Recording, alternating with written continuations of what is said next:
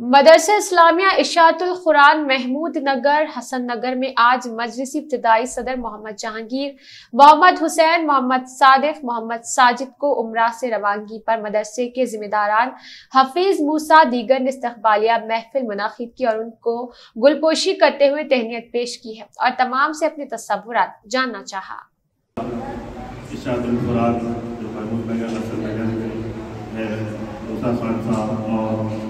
के जिम्मेदार और दीगर जिम्मेदारों का हम लोग मशहूर हूँ, जिन्होंने हमको हमारे मुबारक सफ़र उमरा से रवानगी के बाद हमारे गुलपति के लिए, यहाँ पर जो है हमारी इज़्ज़त बसने के लिए जो है ना, यहाँ पर मौजूद किया और एक प्रोग्राम का मैं इनका शुक्रगुजार हूँ।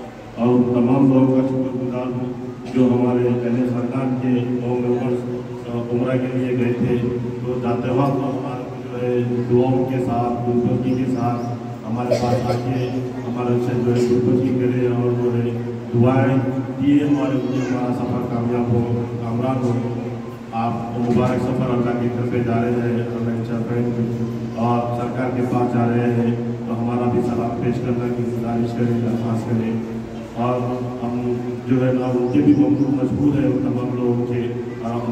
उम्र से वापसी के बाद जो है ना यहाँ पर आने के बाद में भी हमको हमारे मोहल्ले के लोग, हमारे जान पहचानने वाले, हमको जो मुबारकबाद दिए और हमारे से दुआ की गुजारिश करें। और मैं ये चाहता हूँ कि हम लोग हम लोग तो जो है हमारी मददों को अल्लाह कबूल फरमाए। हम जो हमें करें।